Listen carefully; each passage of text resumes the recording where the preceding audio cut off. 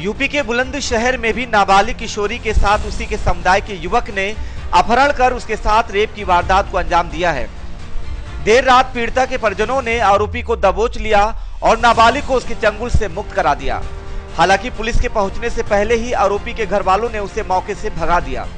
इस मामले में पीड़िता और आरोपी के परिजनों के बीच गाँव में पंचायत हुई, जिसके बाद पुलिस में शिकायत दर्ज कराई गई।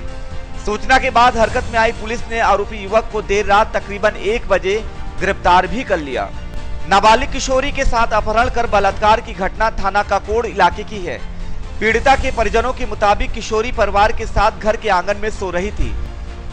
देर रात उन्हीं के समुदाय का पड़ोसी युवक रिजवान उर्फ़ पकौड़ी दीवार फांद कर घर में घुस गया और मुँह पर रुमाल सुंघाकर किशोरी को घर से उठाकर ले गया।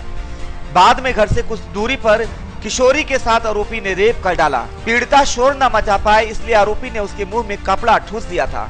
रात में गायब होने पर किशोरी के परिजनों ने उसकी तलाश की तो आरोपी उसके साथ रेप करता हुआ पकड़ा गया।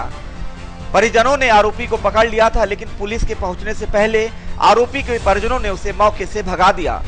किशोरी के साथ रेप की घटना 29 बटा 30 की रात की है।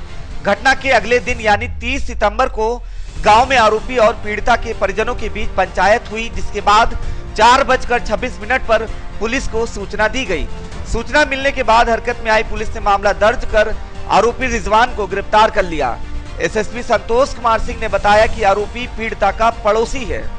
बात क्या हुआ बताओ बेटा। मैंने ना देखा मतलब हमारे बरामदे में हम सभी सो रहे वो दीवार दागता आया हाँ पहले उसने लाइट बंद कर दी ऊपर से खंभे जल गई फिर क्या हुआ? क्या करा उसने? मुँह पर रुमाल लगाया न सिर्फ़ मुँह बेहोशी हालत में उठा के ले गया मुझे वो घर से बाहर निकाल के गेट खोल के।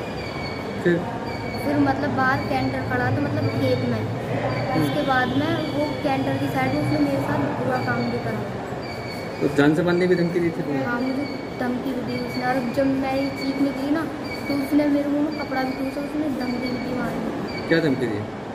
बोल रहा था कि तेजाब डाल के तेरे मुँह पर जला दूँगा।